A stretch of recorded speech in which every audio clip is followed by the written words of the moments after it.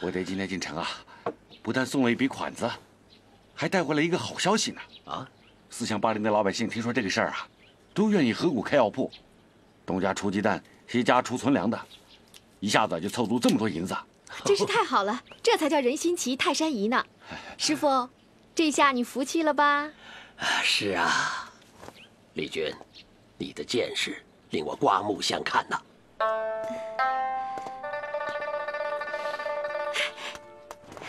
师傅，师傅，那你是答应丽君参加科考的请求了？你的想法呀，也太荒唐了。荒唐？古有花木兰，这荒不荒唐啊？我就不信，我还做不了科场上的花木兰了。小声一点。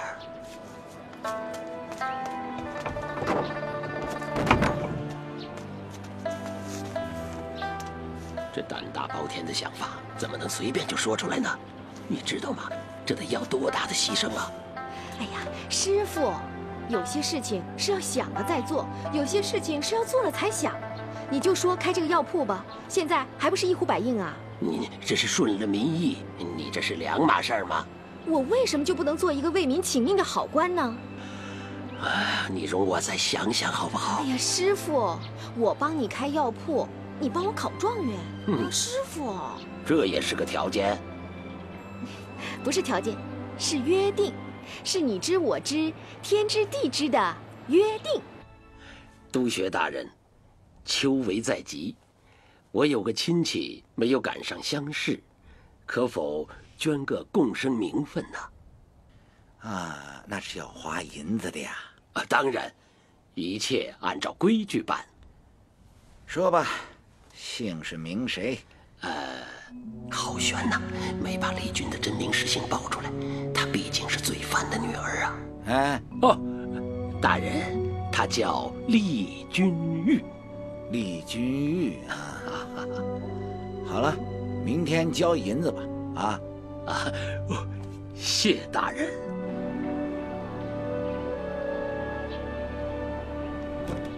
师傅，你干嘛这么神神秘秘的？啊，丽君，我见了督学大人啊，给你捐了个生源。生源？是啊，你就可以女扮男装进城去赶考去了。啊，真的？啊，姐姐做秀才，进京要去考状元了。哎，要记住啊，切记切记，以后啊，我给你改了个名字，就叫丽君玉。丽君玉啊。丽君玉，丽君玉，好，就叫丽君玉。姐姐，这好好的名字，为什么要改它呢？我不仅要改名字，还要改性别，改衣着，改举止，改习惯。等到了最后，什么都要改。你是说？我们要做男的，我喜欢。姐姐在上，小生这厢有礼了。错了，以后可没有什么丽君姐姐了，只有丽君玉、丽公子。记住了吗？是，丽公子。公子，你叫丽君玉，那我叫什么呀？不如，不如你就叫荣发吧。做丽君玉、丽秀才的贴身书童，怎么样？荣发，荣发，哈！我要发财了，这名字不错，嗯，好听。我刚才在回来的路上啊，给你们买了两套男装，一会儿穿上试一试。今天咱们上第一课，学学男人怎么喝酒。公子请，这位仁兄。请，请，抬起胳膊。哦，康师傅，别来无恙啊！老康大爷，您今儿吃了吗？二位，幸会，幸会。师傅，师傅还像吧？我们像吗？不错，孺子可教啊！啊，咱们下边开始斗酒。好李公子，荣发小厮，咱们爷们儿相聚一次不容易啊。嗯，咱们今天呢，来他个翻江倒海，一醉方休啊。好，正所谓恭敬不如从命，我提议咱们猜拳以助酒兴。行酒令啊，丽君姐姐，这个我最在行了。掌嘴啊！哪来的丽君姐姐？我刚才……嗯，罚酒。罚酒啊？罚多少？酒碗里有多少你就喝多少。我啊，这么多呀，姐姐，我要都把它喝下去，这不要我的命吗？你说丽君姐姐，她不是也死定了？哦，好了好了，别为难了，我陪你一起罚。来，来，干干干！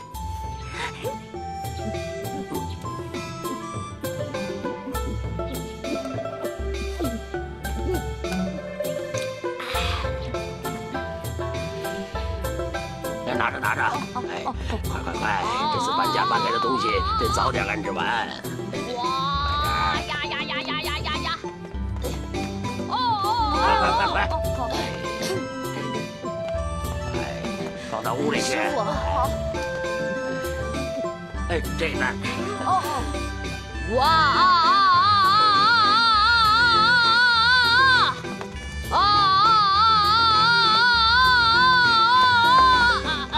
放下！哎，啊啊啊啊！哎呀，哎呀！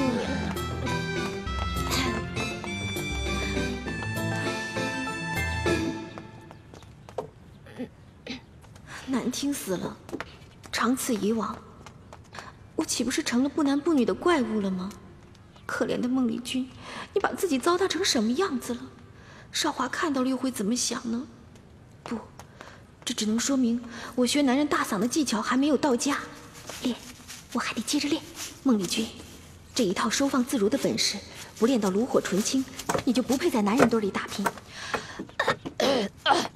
啊啊啊啊！啊啊啊啊。啊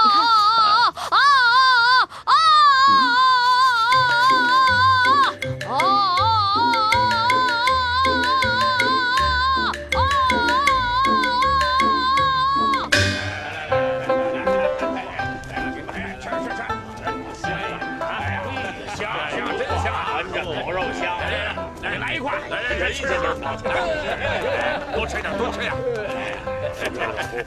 来来，嗯，你来一块，你来一块，味道不错。嗯，来，老这块，来，我也来一块，我也来一块。品烫烫，怎么样？香香。老乡，吃什么东西呢？这么香啊？这你谁呀？哪来的？哦，在下厉君玉，是进京赶考的举子。哦，跟郎中老康沾点亲戚，所以就在这里小住几日。哎呦，老康来我们家了！哎呦，你是他亲戚啊？好好，来来来，坐坐坐坐，来，坐啊！康老先生的亲那人一定是错不了。来，给他捞个狗大腿尝尝。啊，什么狗？你看起你们城里人，一听说一条死狗就吓成这样。谁说的？谁说我怕了？给我来一块，尝尝。哎呦，捞捞！哎，来给你捞一块啊！给这个好，这个好，这个好啊！哎，这个好，是狗大腿吗？这好像是狗尾巴。哎，吃吧，味儿鲜着，没事吃。来吧，来吧，来来来来来，怎么样？嗯，还不错。你吃了这个，这晚上睡不着觉。晚上你见着那老母猪啊？就跟见着西施似的。这是什么呀？对，狗鞭。来来来，别别别别别别！你这么一来，我们怎么吃啊？是啊，就是。没有没有，对不起对不起啊。嗯，吃的太急了，呛着了呛着了。慢点吃啊！哎，这个咱们不能光吃狗鞭呢，也得配着烧酒，是不是？哎，来来，给秀才倒酒啊！晚上晚上。来来来来，来，嗯，哎，这是咱们自己酿的蛇酒，嗯嗯，干，对，来来，干，哎，干，好东西，干，来来干，干，哎，好东西，好酒，哎呀，用劲，好，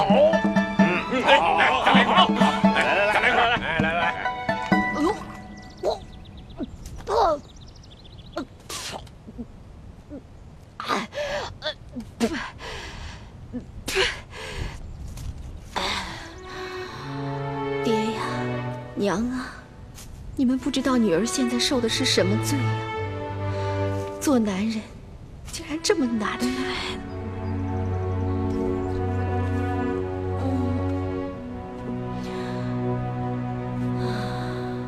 乡亲们，乡亲们，乡亲们，从今天开始啊，就有了咱们老百姓自个儿的药铺了。谁再要是得了病，也不用再撑着了。凡是在咱们药铺交过本钱的，看病的不交钱，拿药啊打对折。确实有困难的。还可以再减免呢！哇，这是太棒了！是谁想的这么好的点子，让穷人得了这么大的优惠？这举贤呐，不必亲啊！这就是我远房的大侄子厉秀才呀！哦，师傅，厉秀才，好样的，够哥们！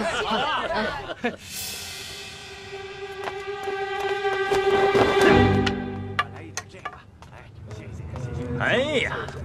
怪不得药店的柜台都长了绿毛，这帮穷鬼们都聚到这儿来了啊！你是什么人？你要干什么？连我白大你都不认识，给我砸！住手！住手！光天化日之下，竟敢行凶打人！你老康，安安稳稳的郎中你不做，居然跟我抢生意，你吃了豹子胆了你！你开你的药店，我开我的药铺，咱们井水不犯河水，怎么了？你想欺行霸市吗？你老子眼里揉不得沙子，今天不把你这破药铺砸烂，我就不姓白了！给我打！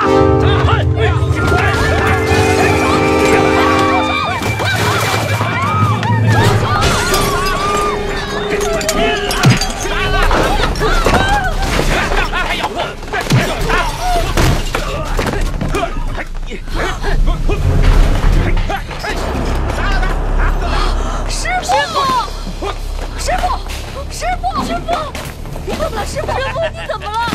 走，走，走，走！师傅，师傅，你没事吧？师傅，师傅怎么了？师傅，师傅，师傅，师傅，师傅。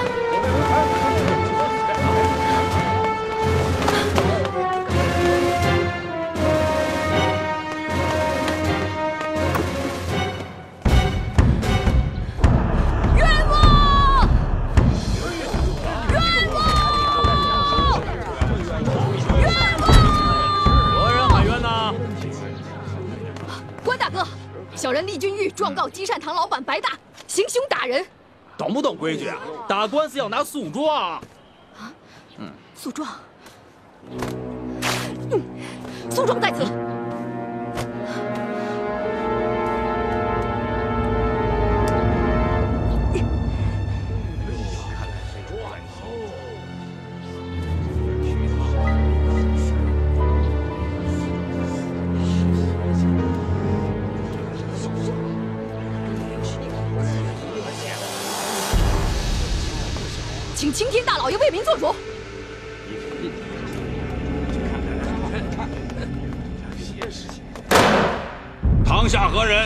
因何鸣冤？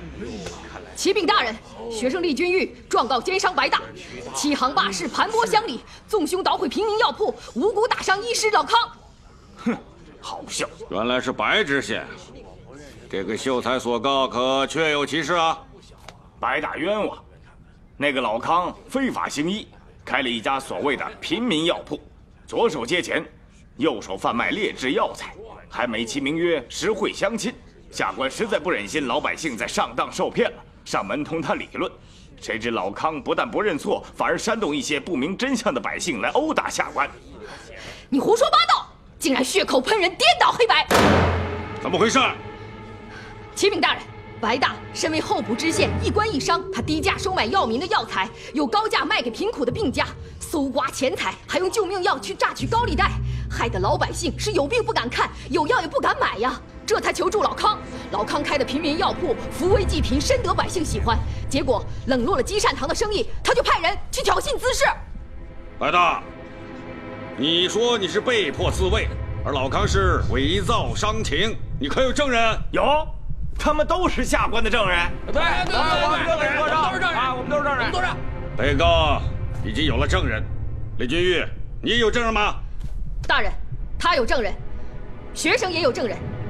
请大人听听全城的百姓是怎么说的吧。老康无故被打，我们都能做到。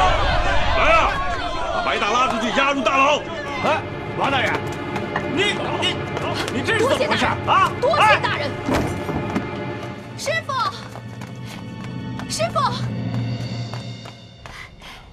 师傅，师傅，你好些了吗？君玉啊，啊，听荣发说，你到州府衙门喊冤去了。对，我实在咽不下这口气，我把他给告了。告下来了吗？当然了，当着那么多老百姓的面，州官哪敢包庇啊？当场就把他给抓了，现在关在牢里。说等过两天你身体好些了，再来审理此案。你真相信州官的话吗？相信啊，我亲眼所见啊。哎呀，还是这么天真呐！那是众怒之下的缓兵之计呀。会是这样吗，师傅？啊，当中让他们出出丑，也算出了咱们这口恶气。君玉，明天一早，你和荣发必须得走，一刻都不能停留。为什么要走？师傅，你的伤还没好，我们不能走。要走，我们一块走。对。混话！我怎么能走呢？这不等于畏罪潜逃吗？你看那白大，肯定是反咬一口；那州官呢，也顺水推舟，就给咱们定罪了。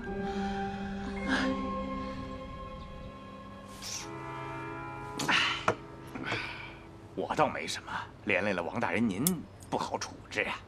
以后再闯了祸，提前给我打个招呼。不要搞得我措手不及呀！是是是是是。哎，那个厉君玉你也见到了，好生的伶牙俐齿啊，留着他，怕是养虎为患呢。哼，这个我自有安排，我不会让他在外面乱咬人的。来来来来来，啊，干干干，嗯，干干干。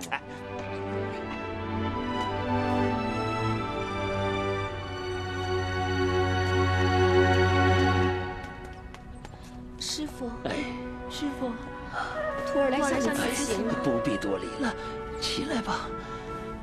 我要看着你们马上脱身。哎，师傅，我求求你了，你还是跟我们一块走吧。我一个老头子，身上又有伤，官府能把我怎么样？啊，我这有一封信，是写给青莲庵老师太的，你们进京可以到他那儿投诉。另外呢，我知道。你们现在最需要的是什么？我这儿还有三道锦囊，不到万不得已的时候，不能把它打开。走吧，都走吧，快走吧！啊，师傅，我去了京城以后，一定会找机会回来看你的。好，好，走吧，走，快走！啊，走吧。快走吧，走，走吧。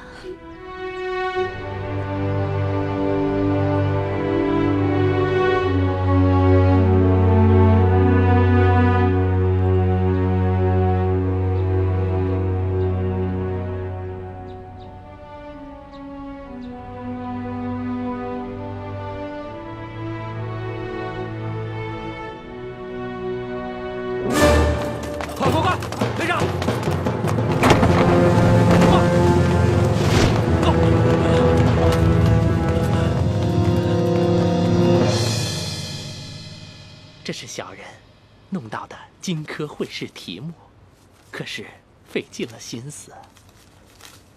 真有你的，干得不错。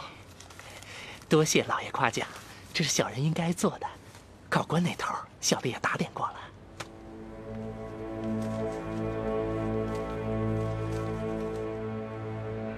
该花的钱就要花，绝对不能省。但是呢，不能露出马脚。你要知道，历年来的考官都是梁丞相，他可是精明的很。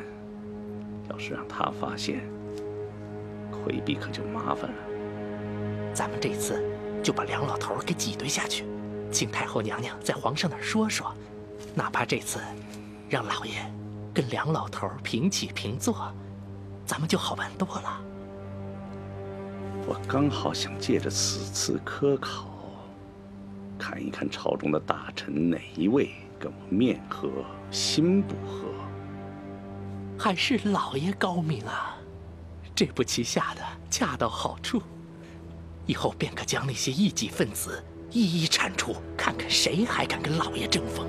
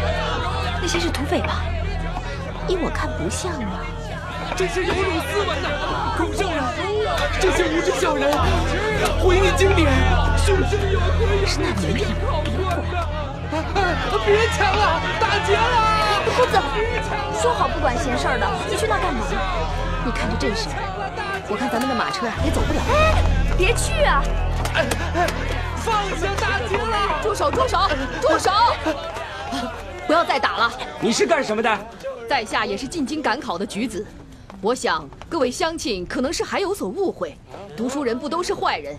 我也曾和你们一样吃过苦，挨过饿。你们这些读书人都是欺负我们这些不读书的。各位乡亲误会太深，如果在下求得一官半职，就一定要做一个为民请命的好官。说得好听，天下有哪个好官替我们想过？江南闹私盐，官军去剿匪，硬把我们一点点积存的粮食都搜走了，说是充了军粮。什么？江南私盐一案，也让你们河北的灾民受到牵连吗？别假惺惺的，我们眼下没有饭吃，你管不管？哎，干嘛？是这样的，在下绵力微薄。身上的这些盘缠可以先拿给各位乡亲们用，只求你们让一条路来，让这个举子先走好吗？你这么爱管闲事，那你就替他顶缸吧。奎斌，这是爹花了很大的功夫才弄来的考卷，你在家好好的把它做完，等到了考场你就胸有成竹了。来，爹，这不是作弊吗？你怎么可以？我不要！站住！你以为这样就可以显现出你的清高吗？奎比，这这是爹的一番苦心，爹是为国求财才出此下策。这叫为国求财？哼哼，你笑吧。等上了考场呢，你就笑不出来了。从古至今。有多少像你这种自以为聪明的人，在科场上却碰得头破血流，后悔一生？你是我儿子，我不想让你走这条路，但也犯不上干这种卑鄙的勾当。爹，孩儿要的是正大光明，考场如战场，作弊之事，孩儿还是不想干。真是不知天高地厚，孩儿对不起良心。良心。当初孟家比武招亲，你自以为有本事，可以娶到孟丽君，可后来呢，却被皇甫少华占了上风。现在回想起来，根本就是他们两家在作弊。你自以为有本事，就差一点把娇妻拱手相让。够了，爹，别再说了。爹这是在提醒你，若不是我厚着老脸。去求太后娘娘，烦她请了圣旨，让孟家退了婚约，改嫁于你。我想你还一辈子蒙在鼓里。爹，你说什么？孟家小姐改嫁，是您做的手脚。只可惜这个小贱人忘恩负义，弄个身败名裂的下场。够了，爹！你把儿子大事都包揽下来，我看这次要考什么状元？不过又是您棋盘上的一枚棋子。一提到孟丽君，你就鬼话连篇。为了这个烈性不改的女子，你把自己搞得一蹶不振，值得吗？爹这次叫你回京，就是让你收心养性，全力迎考。不进入三甲，你就丢尽了刘家的所有颜面。爹，爹。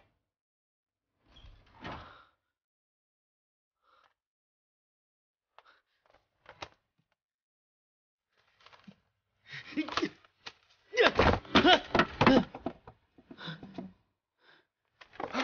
的马还！我的马呀！还我的马！哎哎，我的马，我的马！喂，我们怎么去京城啊？刚才还说不出山，这点路走不了了，走着去吧。公子，他把我们的马牵走了，我们怎么办呢？算了。和他们计较了，咱们走吧。我，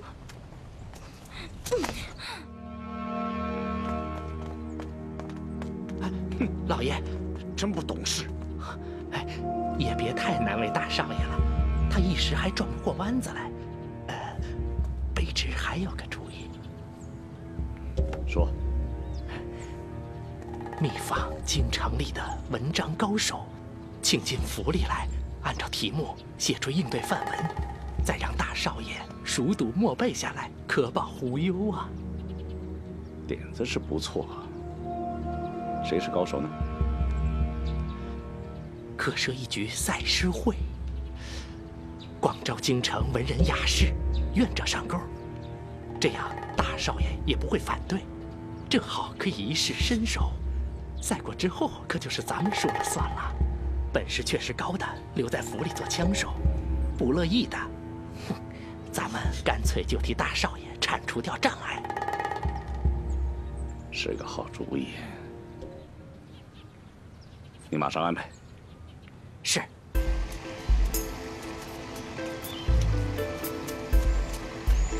公子，都怪你，你非要把银子给那些难民。不让你管闲事儿，你偏要管。现在好了，他们拿了银子，不但不领情，还把我们的马给牵走了。唉，累死我了！你让我怎么办啊？这件事儿，我们就是不管，我们也跑不掉。嗯，哎呦，嗯。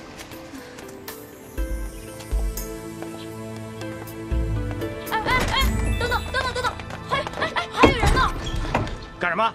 还有一个人呢，关门了。有事明天再来吧。啊！哎哎，官兵大哥，我们是来赶考的，明天来就迟到了。你们还知道晚啊？早干什么去了？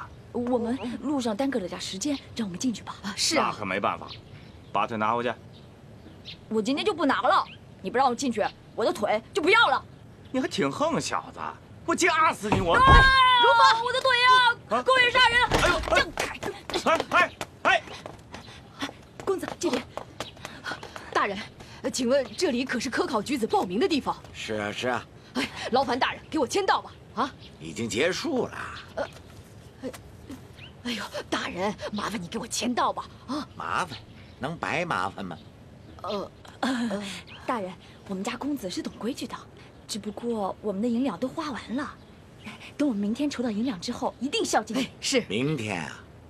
哼，别糊弄我，明年再来吧。啊。哎，哦。呃，大人且慢。嗯。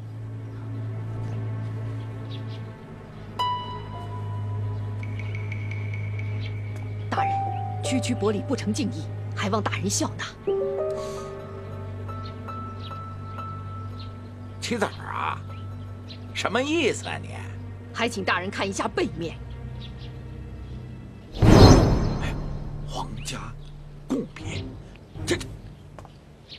哪儿弄来的？啊，学生有个近亲，就在皇上跟前当差。他跟学生说，要是有人为难学生的话，就拿这枚棋子直接找他就行了。叶下官有眼无珠，冒犯了公子，公子海涵啊！大人，那我们报名的手续呢？办办办办办办办！回避，回避。爹今天读了一篇绝妙文章，所以特别拿来跟你一起分享。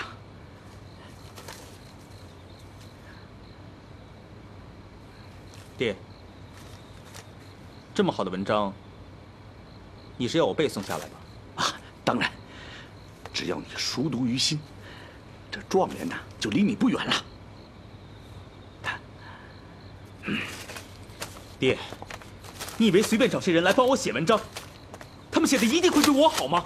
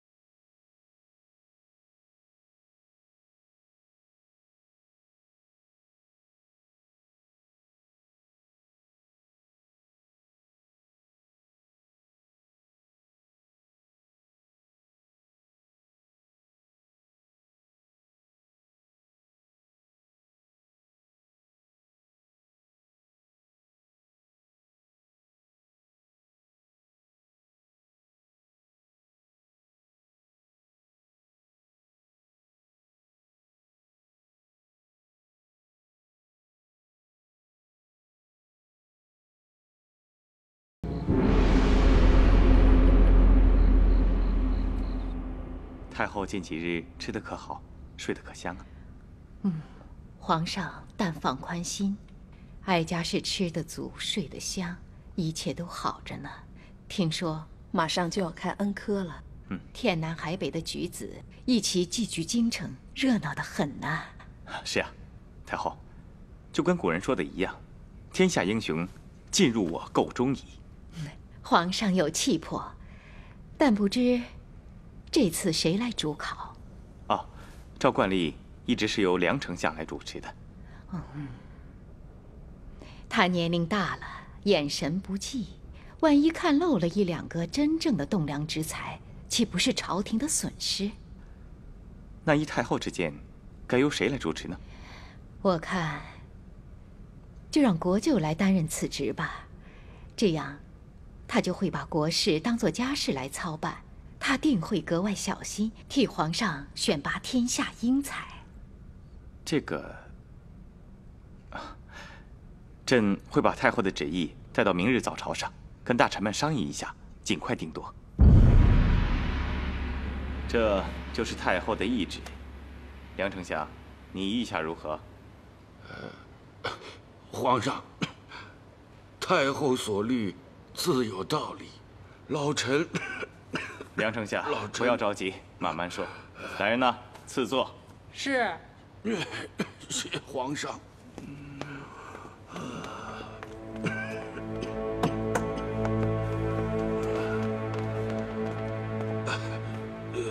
梁大人。啊，梁大人，你的文章道德，天下士子无不敬仰。由你主考，正是众望所归。只好再多辛苦几天。忍受着秋凉咳喘之类。是啊，梁丞相，你的身体还能吃得消吗？老臣鞠躬尽瘁，死而后已呀。这古稀之人一次要阅读上千份的卷子，确实很辛苦。这样吧，梁大人若不嫌弃，下官愿做你的副手，先把这上千份的试卷粗看一遍，筛选一遍，把中看的。呈给阁下定夺，梁大人觉得如何？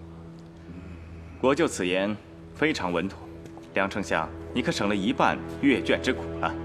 啊，皇上啊，既然如此，那就将荆科主考重任交给刘大人吧。臣们也以为由刘大人主考理所应当。众位大人，众位大人，刘杰才疏学浅，担此重任，恐有不道啊！国舅啊，你就不要再谦虚了，只要将此事做好就行。多谢皇上。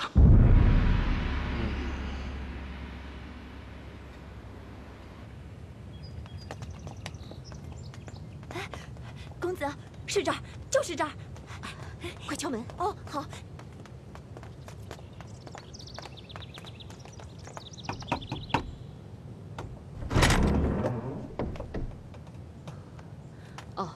师太，多有打扰，请问元觉主持在吗？嗯，贫尼正是。二位施主有何见教？啊，小生厉君玉，现有恩师老康书信一封，交与师太。哦，烦请师太照顾为盼。老康，原来是老康师傅引荐二位寄宿小安。哦，实不相瞒，青莲庵本不收男客留住，但老康师傅德高望重，那就请二位暂住后院西厢房，你看如何？太好了，太好了！多谢师太不弃，多谢，晚生不胜感激。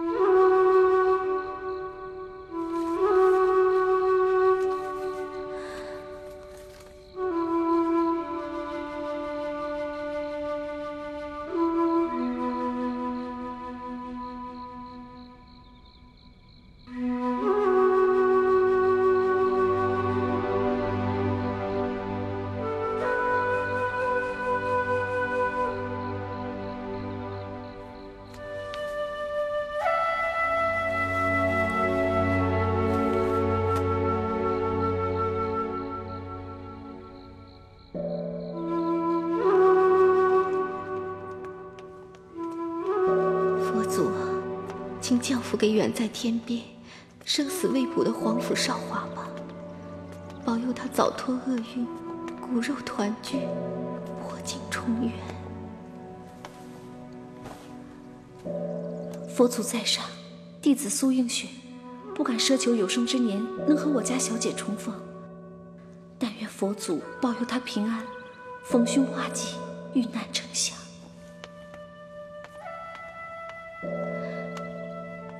弟子的恩师老康，弟子祈求佛祖保佑他平安度过这一劫。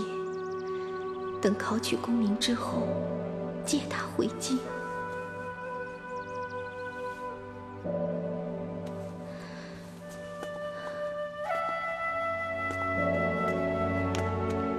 小姐，丽君小姐，映雪在这里为你祈求平安。佛祖有旨，请赐我一支上上签。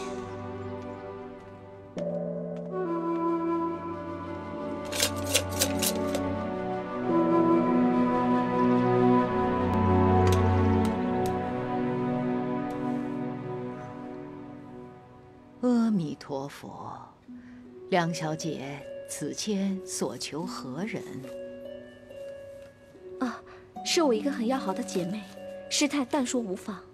嗯，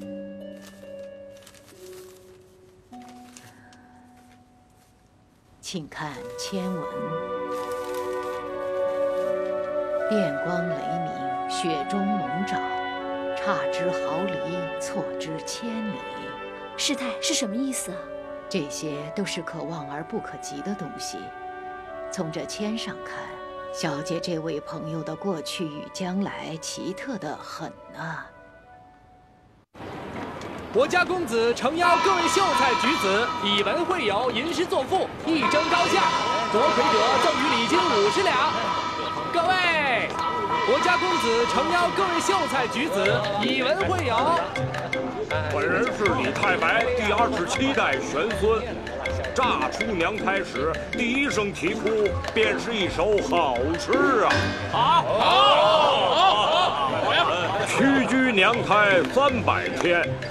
一朝喘气震乌颠，不先向娘讨奶吃，洒向人间几十篇呐！